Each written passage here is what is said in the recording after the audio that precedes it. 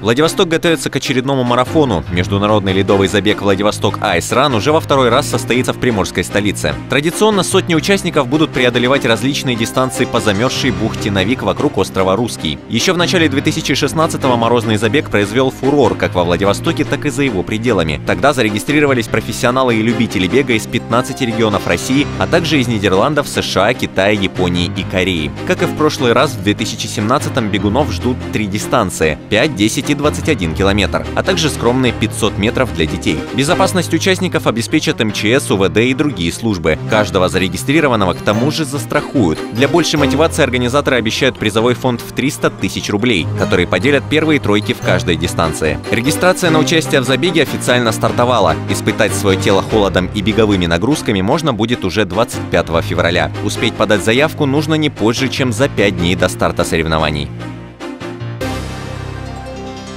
Поклонники маунтинбайка со всего Приморья устроили последние в этом году соревнования во Владивостоке. Любители велоспорта и приверженцы активного образа жизни участвовали в традиционной эндуро-велогонке под названием «На призы Деда Мороза». Старт безумных заездов находился на сопке лесного массива «Варяг». Гонка оказалась уже шестой по счету. Как отмечают организаторы, несмотря на зимний мороз и толстый слой снега, велосипедистам всегда интересно испытывать на себе скоростной спуск по такой необычной трассе. В этом году результат в гонке определялся по сумме времени четырех заездов по разным участкам участкам. Спортсмены, показавшие лучшее время, и получили те самые призы от Деда Мороза. В этот раз ими стали плюшевые игрушки в виде символа наступающего года – красного петуха.